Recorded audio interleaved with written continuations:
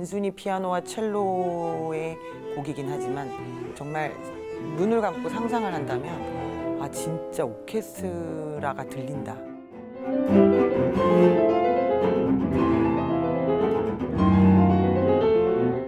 우리가 자유롭게 하고 음악을 노래를 하는 것은 좋지만 짜를 넘어가는 건 조금 위험한 부분이 아닐까 싶어요.